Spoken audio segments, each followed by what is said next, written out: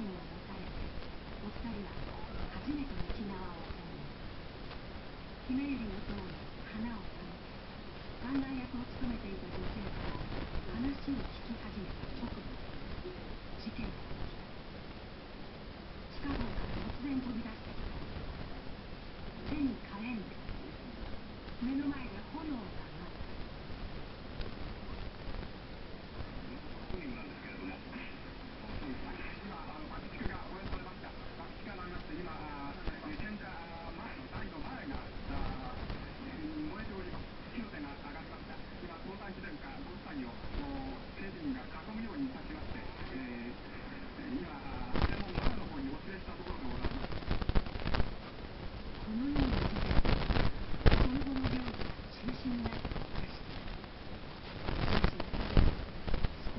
動揺した様子を見せなかった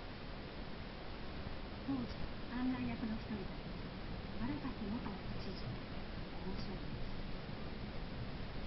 とにかくもう平然としてこれるとはちょっと言ってしまうなんかこういろんな意味ででもないかもしれないでしょうけどね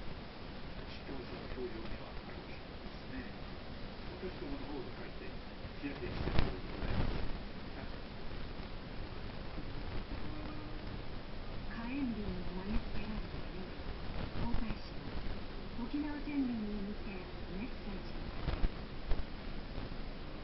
現れた多くの尊い犠牲は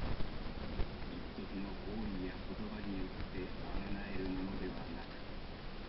人々が長い年月をかけてこれを記憶し一人一人深い内省の中にあって後に心を寄せ続けていくことを置いて考えられません